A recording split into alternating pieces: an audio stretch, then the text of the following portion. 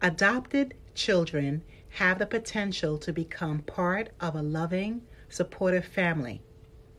When they have parents who want their very best and give daily effort, these children will thrive.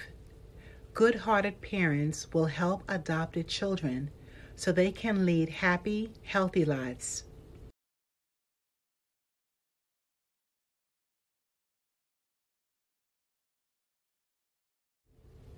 Unfortunately, some adopted children are abused by their adoptive parents in various ways. This can include physical abuse, for example, beatings, emotional abuse, such as verbal insults or threats, and neglect, which may involve being deprived of basic needs like food or medical care. The exact negative experiences of Olivia Akakatis. One definitively heartbreaking example is when an adopted child is starved and neglected by his or her adoptive parents. In these cases, the child's basic needs, food, shelter, and clothing, are not met due to the lack of love, parental attention, attention, or resources available in the home environment.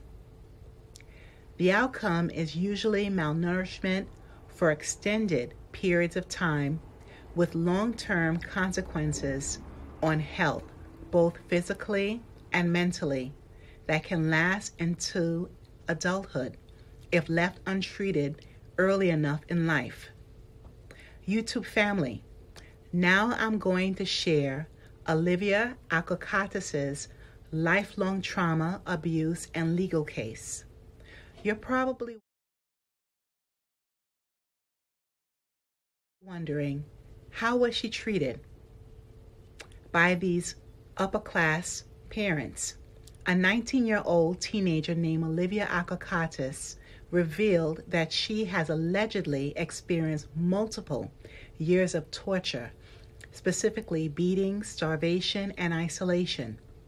Decades ago, when Olivia Akokatis was adopted, she was delivered by the state and an international adoption agency to these criminals and child abusers in her first months of life, according to court records.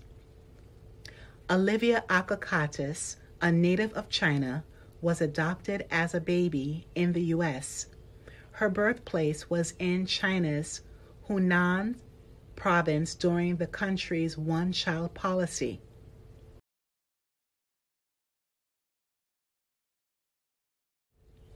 Sadly, her birth mother abandoned her in a trash can. Next, she lived in an orphanage for 14 months until her adoption.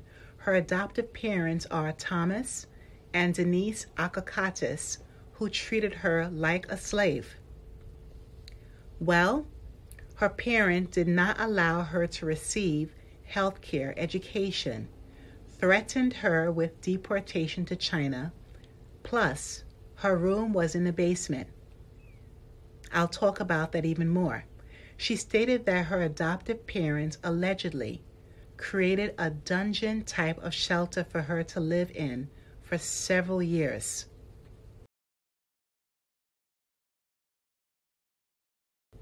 The dungeon type of shelter inside the basement was very tiny and filthy. Her attorney, Michael Lewis, was shocked to see the room. Michael Lewis stated, in quote, for a place that is as quaint and wealthy as New Hampshire. To not have solved this is distressing. This is a systematic issue. End of quote. On October 18, 2018, Thomas and Denise Akokatis were arrested because of their adopted daughter's allegations.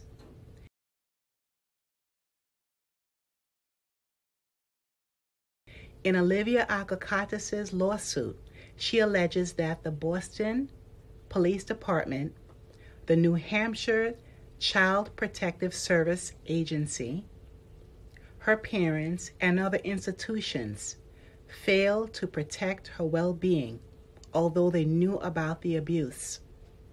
Meaning, professionals who are trained and licensed to protect the public knew about the longevity of abuse.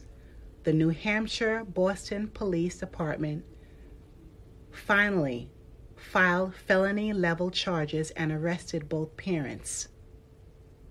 Allegedly, her parents demeaned her using racial slurs, regularly used a dog leash to tie her indoors onto a metal column, beat her with a belt, and forced her to do hard labor. Interestingly enough, Wide Horizons organization visited the residence of Thomas and Denise Akakatis. Before Olivia Akakatis' adoption, they interviewed their own children who said they were beaten with a belt. She has siblings who confirmed a sufficient amount of information in the lawsuit.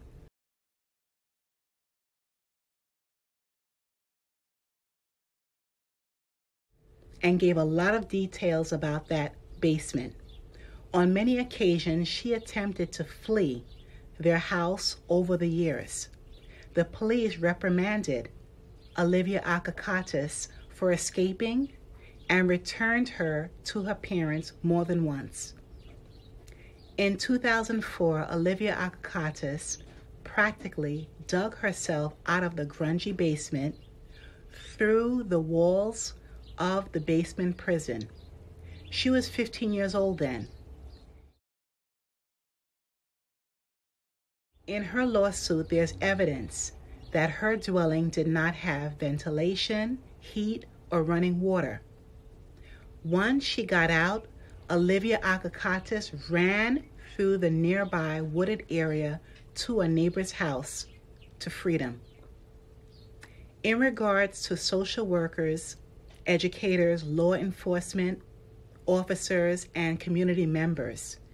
It's important for those who work with adopted families to recognize signs that a child may be suffering from starvation, neglect, or any kind of abuse so they can intervene before it gets a lot worse. Signs of emotional, SUO, and physical abuse could include drastic weight loss over short periods, changes in behavior, struggles concentrating, depression, anxiety symptoms, poor hygiene habits, etc. Early intervention through therapy services, along with providing access to proper nutrition will help ensure that no matter what kind of situation an adoptee finds themselves in, they will receive support necessary for them to live safe and healthy lives. Please leave your comments below. I would love to hear from all of you. And remember to hit the notification button, like, and subscribe to my channel. Please share this information with your friends and family, my channel as well. Thanks a million, and stay safe wherever you are.